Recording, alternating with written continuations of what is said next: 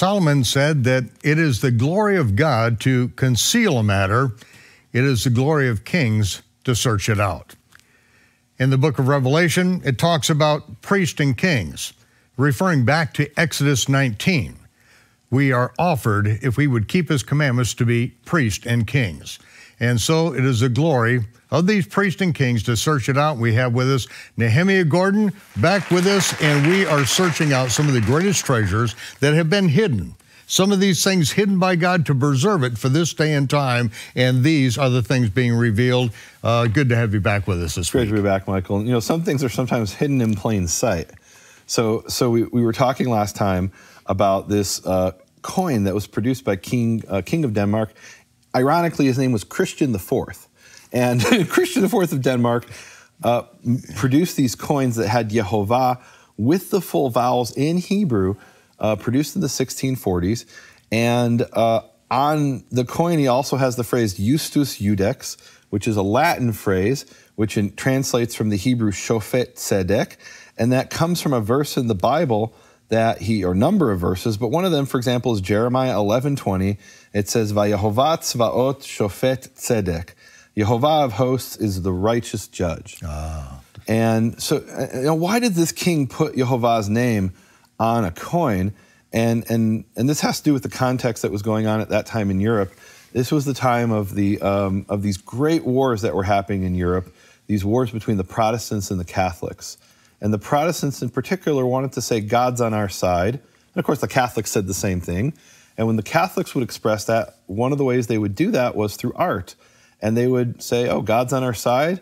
Let's make a uh, ceiling with God as an old man with a white beard, you know, who's touching Adam, right? You know, in other words, the, they use art and they were representing Yehovah through um, as a man, right? Because that's was their artistic tradition. And the hmm. Protestants, Protestants said, well, wait a minute, that's forbidden. And why is it forbidden? Because it says in Deuteronomy, you didn't see a man in the day of the of the of the congregation, meaning the day of the revelation of Sinai. And the Protestants said, Protestants said that we're going to take that literally and not make an image of the Father. And so instead, they represented Yehovah by his name.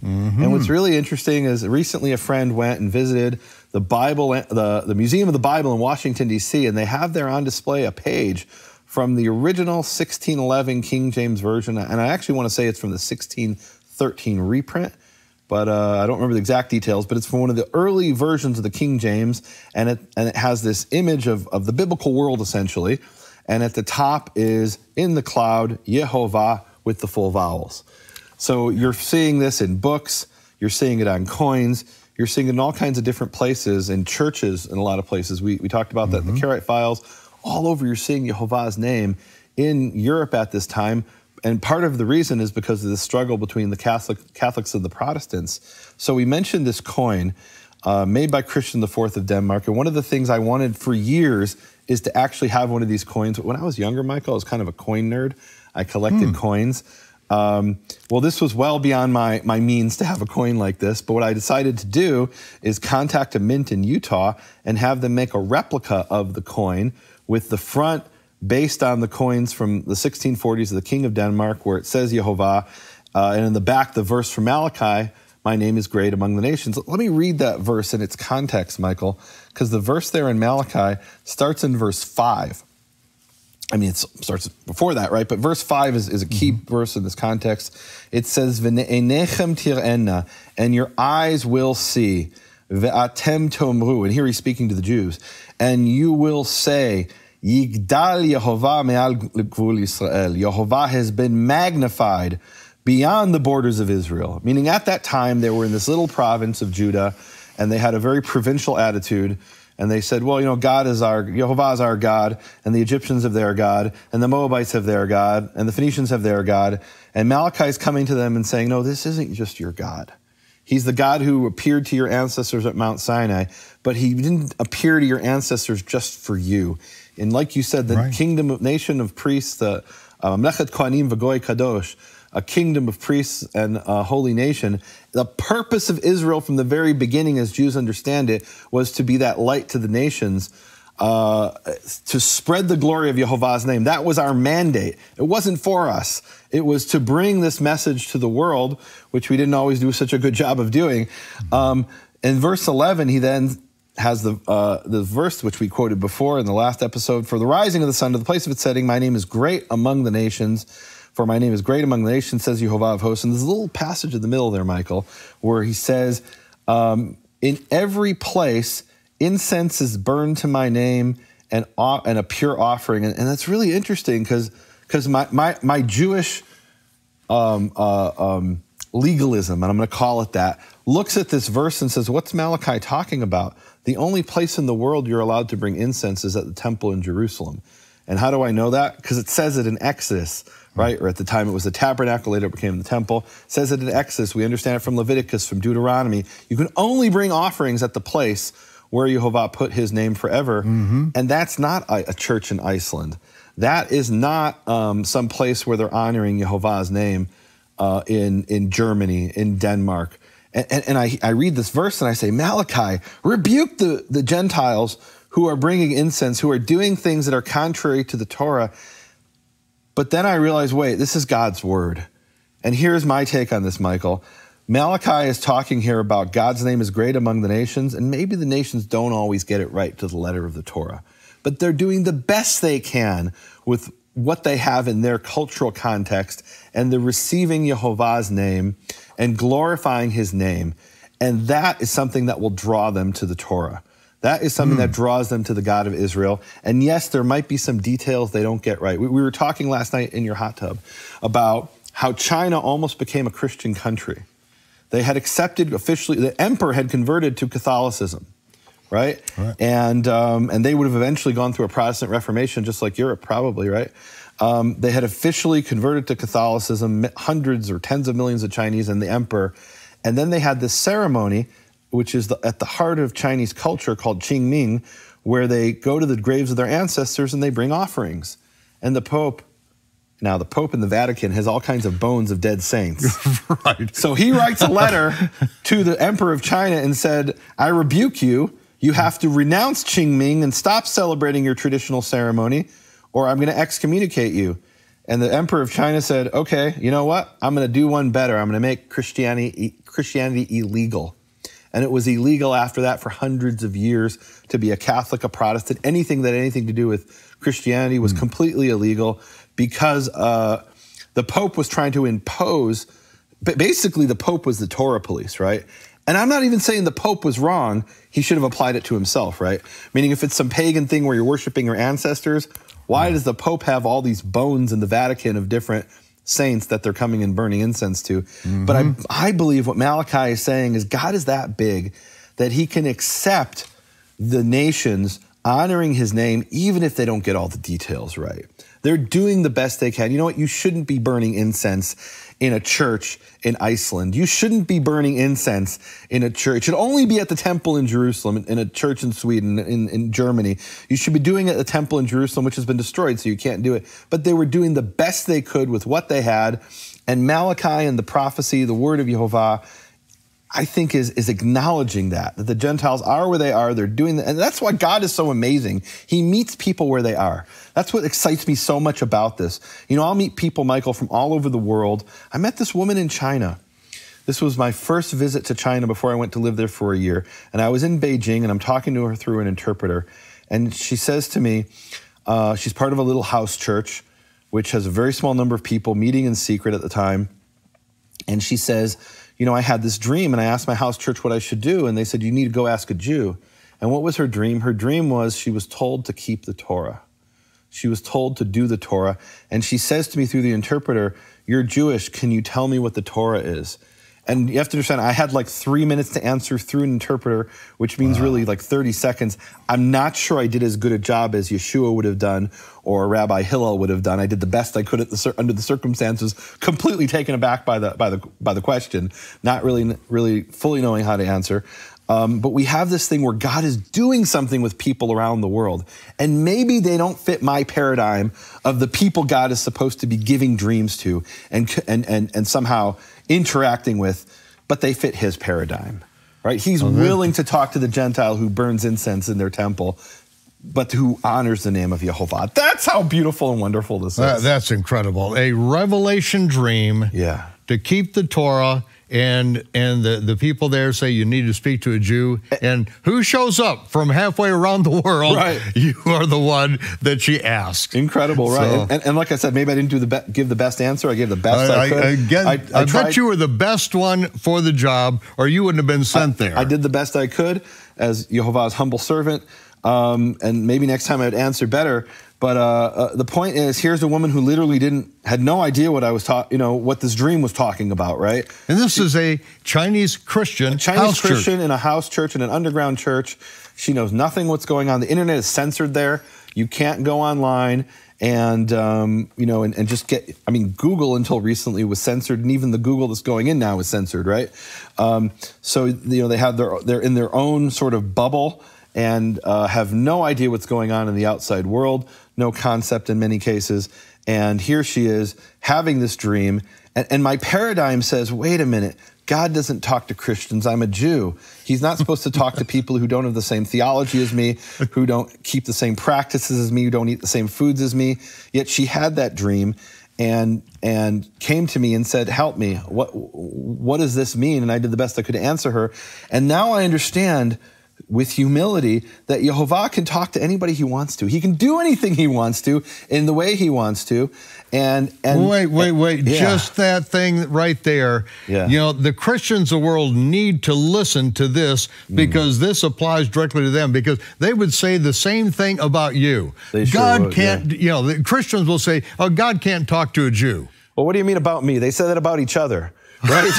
if they're not in the right denomination, they'll say God can't talk to a Catholic. God can't talk to a Baptist. God can't talk to a Lutheran. Hey guys, let God be God. Let God talk to whoever and and and and, and inspire whoever He wants to inspire. Because even those who are burning incense to His name in violation of the Torah, but are honoring His name the best they can, and you know maybe one day they'll come along and they'll understand what they're actually supposed to keep. Michael, I don't think we'll have time to get to it, but I want to have a conversation with you about the Jerusalem Council in Acts 15, because I think this ties in directly to this issue. So I want to table that for a minute and get back later to Acts 15 if we can. Oh, okay, yeah, Okay. I, I want to do that. Uh, uh, tell tell us uh, about this because Yeah. we we actually have a, An authentic a- a- one, right? yeah, authentic one. This is from 1644. Right. And give us the background Okay. and how this relates to So- America. Okay, so let me start with this. This is the. I hope people can see it. Put up a graphic on the screen. This is the the uh, silver round, one troy ounce of silver that I had produced at a mint in Utah, and it was based on these coins, which I had photos of from the internet um, from the 1640s. And it says Justus Judex, righteous judge, referring to Psalm 9:5 and Jeremiah 11:20 and certain verses in the New Testament. And then in the middle it says Yehovah with the full vowels. On the back it says, "My name is great among the nations" in Hebrew and English, Malachi 1:11. And um, I put this out and made this available to people. And we have a mutual friend, John, who heard about this and he said, "I'm going to go get a real one." and he found on a European uh, bidding site, and I shouldn't say this because he wants to be the only one bidding for these things, and I think we just spoiled it for him. But in any event, he was able to get an authentic one, and he sent it off to NGC, which is the organization in America that authenticates coins to make sure that it was real, and he has it here encased. This is an authentic two mark coin, um, which was the lower denomination, and this actually ties into the history of the United States in an incredible way, which I did not expect when I started looking at this and working on this. So, when the United States was founded, we did not have a currency. And the Continental Congress had this crisis. There were dozens of different coins being used throughout the 13 colonies. And they had to make a decision okay, you merchant, do whatever you want. You decide to take uh, the currency from Sweden and the currency from, from Holland and the currency from wherever, and you do what you want. But the Treasury of the United States has to have a standard of what currency they'll accept at what values. Well, today, if you want to know the value of a currency, you go online and you check the international uh, international forex, the exchange rates, right, which are constantly fluctuating. Well, it didn't work that way back then. The standard coin that was used throughout the colonies and really throughout much of the world was the Spanish uh, pilar or piece of eight. That was the standard coin, and that eventually became the, the, the US dollar. But we're talking 1776 before the Constitution. So they commissioned Thomas Jefferson to go study all the coins that were being used and decides which ones would be valid to be accepted as official currency in the United States. And he made a list. And the really cool thing here, Michael, is we he made a handwritten list that was presented to the Continental Congress on September 2nd, 1776, right? So remember, July 4th, 1776 is Declaration of Independence. The Continental Congress is still meeting before before there's a constitution, years before right. the Constitution. Mm-hmm. Uh, the, the war is just is just gearing up. The the war, war, American War of Independence, or as the British thought, the rebellion. Um, September 2nd, 1776. This is approved by the Continental Congress, listing of series of different currencies. And I can actually show the people here the wow. page in the actual handwriting of Thomas Jefferson. Michael, I read about this years ago, but as I was trying to produce this uh, replica of the coin in silver, I said, I want to see the page for myself, what I read about years ago. And I found in the Library of Congress, they have this handwritten document approved by the Continental Congress, written by Thomas Jefferson, and it lists the different currencies. And you can actually see here at the top, it says uh, silver coins. It says the pilar, piece of eight and that is the uh, unit or dollar. And they're talking about the Spanish dollar, not the mm-hmm. US dollar, the Spanish mm-hmm. piece of eight. Okay. And it lists different coins, and, and, it has here the English guinea and various other coins. And later on, it says the, uh, the ducat of Holland, the ducat of Germany, the ducat of Sweden, and the ducat of Denmark. The ducat of Denmark, one of the list of coins that was official currency in the United States when it was established as a nation, essentially even before it was fully established, before the Constitution, was this coin, was this coin with the name of Jehovah on it. So this was true money accepted at the time as an equivalent in varying uh, uh, uh, proportions to the Spanish dollar. And I mean, I read that and I'm like blown away. So here you have a king in Denmark. He doesn't know there's going to be colonies 100 years later that will use his coin, but it becomes used in circulation and it's so recognizable that it becomes one of the coins used by merchants. And they say the ducat of Denmark, that's official currency. that was September 2nd, which is exactly two months after we declared our independence from England, uh, which is two days before the Declaration of Independence, the document, mm-hmm. was actually signed. But it was right. two months, July 2nd to September 2nd, and yeah. his name is made great among the nations. Among and, and and in this case, the founding of the nation, the founding of what I believe is the greatest democracy the world's ever seen. Yeah. Uh, you know this Amen. this nation that look, and I'll just speak from my very personal perspective as a Jew. You know, Jews were, you know, I call myself half jokingly the wandering Jew because in 2012 I left Israel and have been traveling around the world teaching and preaching and doing all kinds of other things ever since. And um, you know, sharing, sharing the word of God from the scriptures the best I know how. And I call myself joking the, jokingly the wandering Jew. But where that joke comes from is that for 2,000 years, my ancestors were wandering Jews. They would live in a country, get kicked out, live in a country, get kicked out. Well, how do you kick someone out who's lived there for 200 years? Because you're Jews. You have no rights in this country. We're just mm-hmm. kicking you out, move on. And it wasn't until they came to the United States that finally Jews were accepted as full citizens and, and it's my hope and prayer that the United States doesn't become like other countries and say, you know, what, we're getting rid of our Jews. I hope that doesn't happen. I hope and pray. Um, I don't know. Some things I see in the news make me really nervous. Um, mm-hmm. You know, there's definitely some scary things going on. And, and quite frankly, well, I don't know if I should say this here. They're coming from one particular direction, and it's not the one the mainstream media is telling you. The anti Semitism isn't coming from where the mainstream media is telling you. It's actually the opposite. It's almost like the mainstream media has become a smokescreen for what the real agenda is this yeah. hatred mm-hmm. of Jews, which is masquerading as anti Zionism, but it's really a form of anti Semitism. Well, this nation was based on God given rights, mm-hmm. and it is the God of Israel. Yes. That is the God given rights, and this is what mm. our, our jurisprudence system, our legal system, is based on Torah law. Well, you know, Michael, it, it's really based on the fundamental, you know, people talk about the Judeo Christian ethic. The fundamental principle, from my perspective, of the Judeo Christian ethic is it's in Genesis chapter 1 where it says God created man in his image. And it says male and female, he created them. So this core principle that God made humankind consisting of male and female in the image of God. And by the way, that doesn't mean God has a big hook nose. It doesn't mean he has two arms with 10 fingers. When it says we're created in the image of God, that's speaking about our soul. We have a soul as humans, every human being, in a way that animals don't have. Mm-hmm. We have that intelligence that God has given us, that discernment. That's what it means to be born, to be created in the image of God.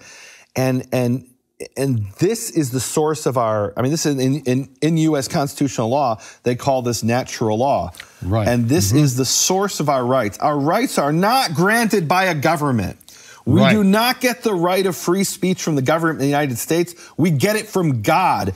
And the Constitution of the United States has done something that no other government before and very few since have acknowledged, which is our God given right of free speech to defend ourselves and other rights. These are rights that come to us as the founders of the United States established from God Himself. And because we are created in the image of God, Michael, I want to talk in, in, in the second half about the clash between those who love the name of Jehovah, as represented in this coin, and those in the Western civilization who have hated his name, and what havoc that has wreaked.